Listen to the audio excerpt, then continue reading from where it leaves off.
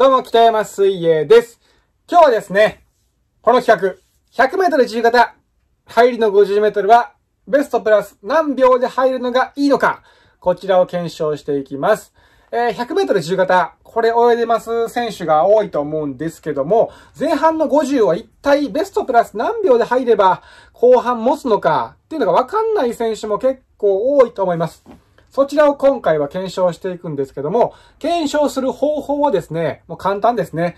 トップ選手のベストタイムプラス何秒で入ってるか、こちらを見ていきます。これはもう手っ取り早いですね。トップ選手の真似をすればとりあえずいいですからね。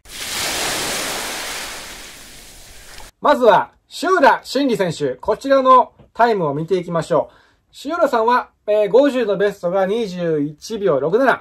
で、100のベストが、えー48秒35。調水ですね。で、このタイム見てみますと、えっ、とね、ベストプラスだいたい1.5秒ぐらいかな。1.4秒ぐらいは調水で入ってます。で、後半が25秒30で入ってきてるんで、えー23秒05で入ってきて、えー前半プラス2.3秒ぐらいで帰ってきて48秒35で来ておりますね。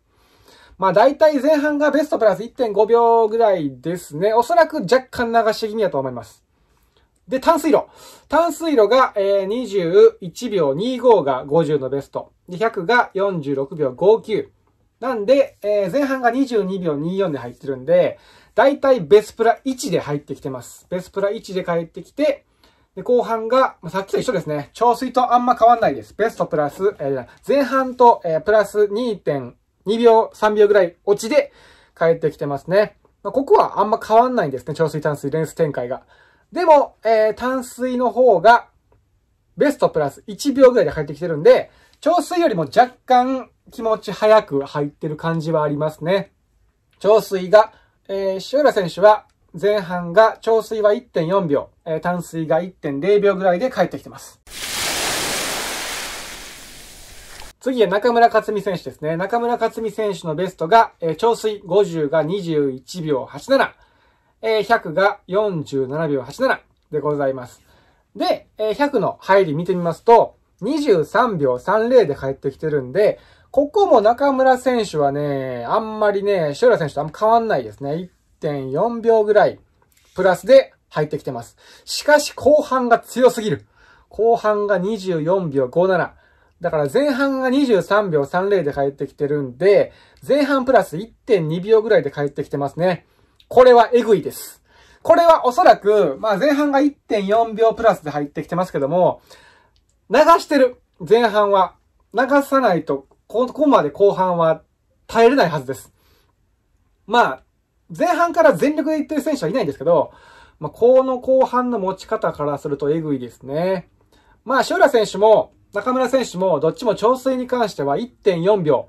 このどっちもトップ選手が調水、どっちも1.4秒で帰ってきてるっていうのは、これすごいですよね。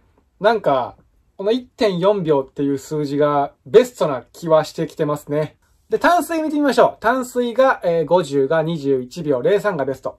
で100が46秒22。で、前半の入りが22秒10なんで、ここもね、変わんないんですよ。シューラシンリ選手とあんま変わらないタイム。だからベストプラス1.0秒ぐらいで帰ってきてるんですね。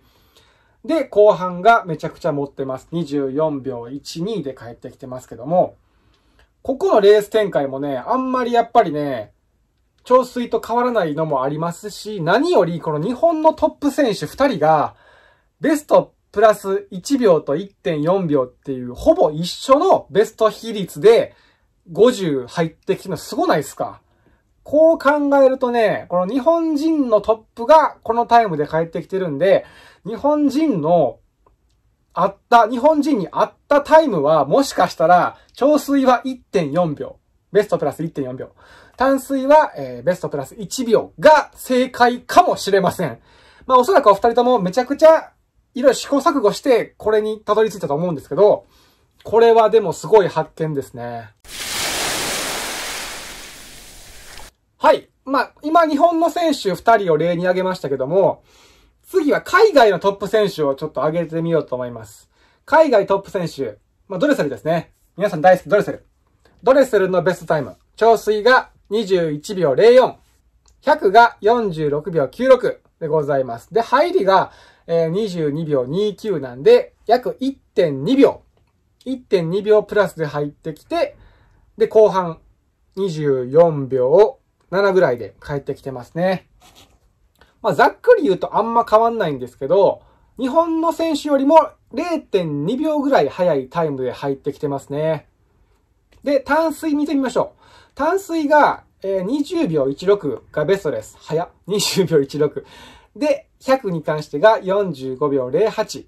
で、これ入りがね、え21秒71っていう、ベスプラ1.5ぐらいで入ってきてるんですよね。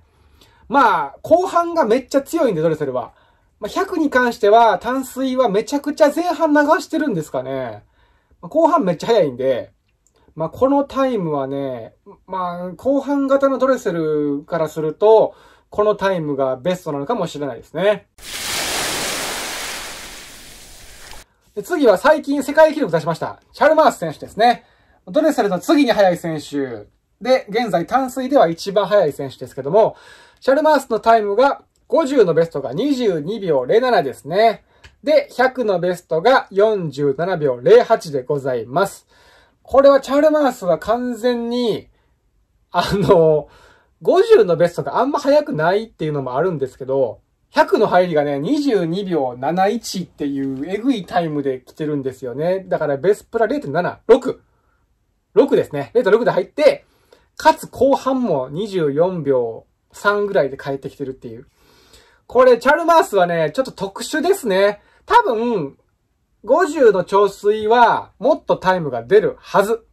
じゃないとおかしいぐらいと言いたいところなんですが、淡水のね、タイムもこんな感じなんですよね。淡水が、えーえー、20秒68、50が20秒68。で、100が44秒84。で、入りが21秒40なんで、ここもね、ベストプラス0.7秒ぐらいで入ってきてます。ベストプラス0.7秒で入ってきて、で、後半もめちゃくちゃ持ってますと。23秒44で帰ってきてますと。チャルマースはね、まあ、200とかも泳ぐ選手なんで、後半が得意なのもあるんですけど、にしても、チャルマースは異常です。ちょっとね、これは真似しない方がいいかもしれないですね。特に50、100専門ですっていう人は、チャルマースのベスト基準を真似するのは良くないかもしれません。まあ、200も泳ぐっていう人は、もしかしたら、チャルマースのレース展開が合うかもしれません。はい、結論です。結論ですけども、まあ、世界の選手はちょっとね、真似するのはちょっとね、体格も違うんで、まあ、日本のトップ選手、この2名を真似するのが、もしかしたらベストかもしれません。もちろんね、このタイムだけ見て、次のレースからこのタイムで行ってみようっていうのはあんまりお勧めしません。練習して、練習してね、まあ、このお二人も練習しまくって、このタイムにたどり着いたわけですから、まあ、しっかり練習した上で、この超水路は50ベストプラス1.4秒。淡水路はベストプラス1.0秒。ここに近づけるように皆さん頑張ってください。まあ一番いいのはね、まあ、前半の50はあんまり頑張りすぎないことですね。力みすぎないように前半は入って、このタイムで帰ってくることができれば、ベストでございますね。今回は以上でございます。皆さん、こちらのタイム参考にしてください。明日